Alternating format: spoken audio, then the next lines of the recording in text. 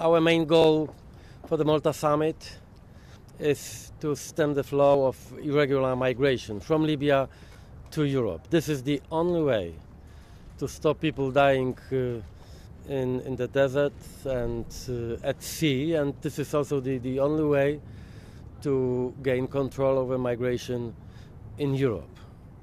Uh, after my uh, talks with uh, Italian Prime Minister Gentiloni yesterday in Rome and uh, today morning with Libyan Prime Minister Al Sarraj on the bilateral cooperation, I can say that this goal is uh, within our, our reach.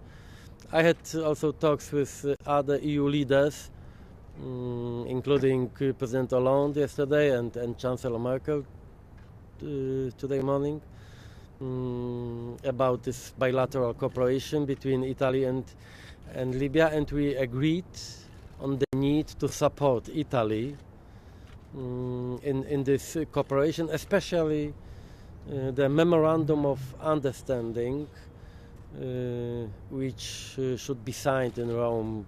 I hope so today or, to, or, or tonight. Um, Europe should and will stand by Italy um, in, in sharing the, the, the respons responsibility.